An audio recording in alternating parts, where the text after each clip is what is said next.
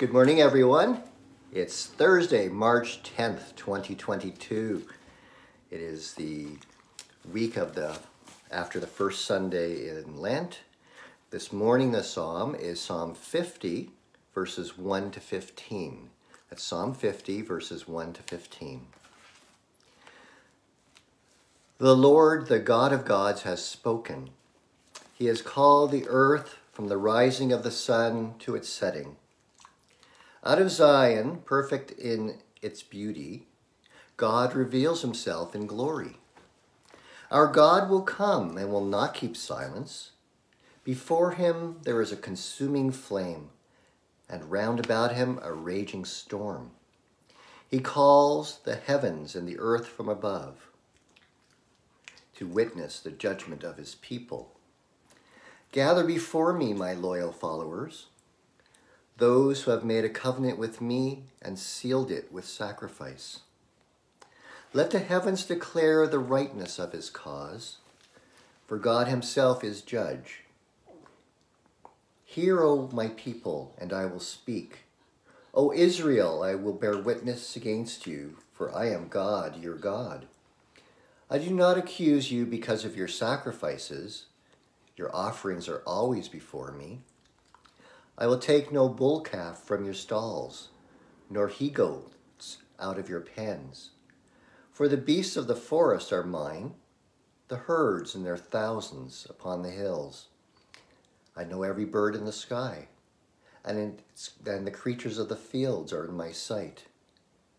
If I were hungry, I would not tell you, for the whole world is mine, and all that is in it.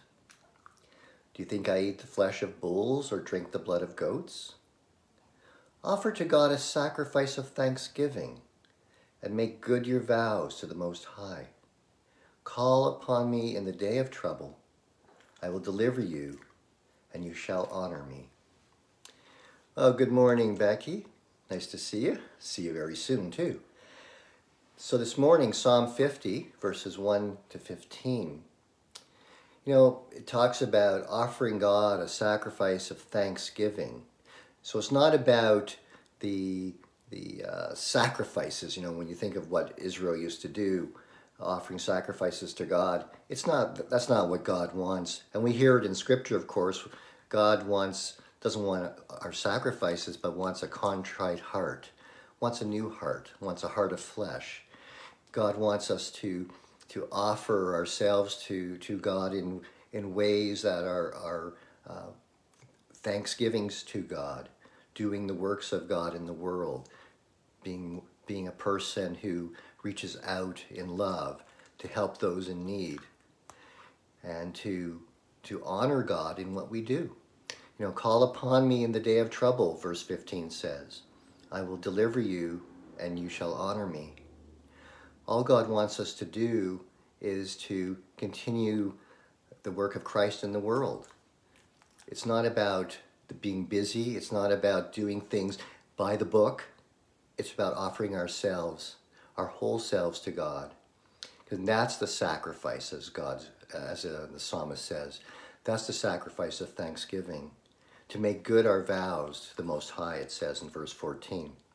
So live a, live a life honorable, live a life of compassion and caring. That's what God wants from us. That's what God loves. And God will deliver us, God says, in, in our days of trouble.